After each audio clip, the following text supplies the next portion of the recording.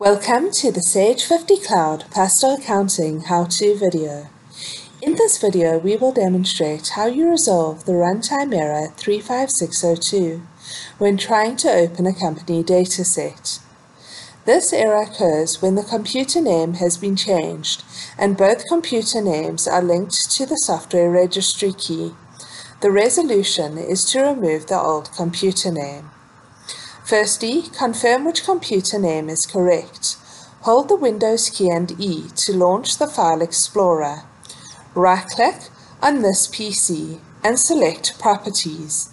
Make a note of the computer name. Now, navigate to your Pastel folder.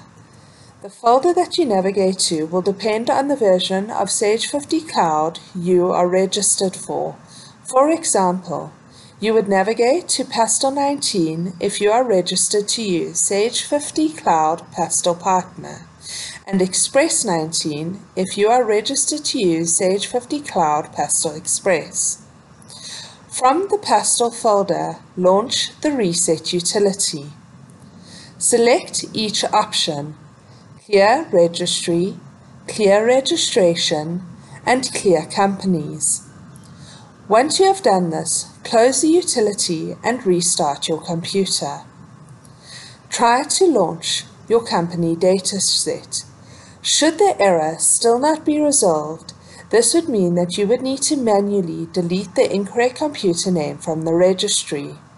In order to do this, hold the Windows key and R on your keyboard to launch the Run screen. Type in regedit, R-E-G EDIT and select OK. On the left-hand pane, expand HKEY Local Machine. Expand Software.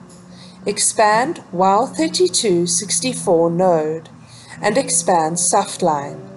Double-click on the Pastel folder that you are registered for.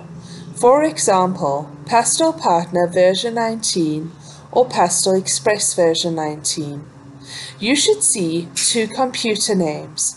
Right-click on the incorrect computer name and select Delete.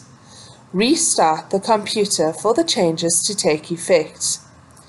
Once you have restarted your computer, you will need to run the components utility.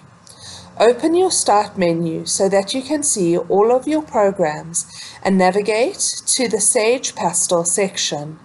Select the version of Sage Pastel Accounting you are running and select the Components Utility option.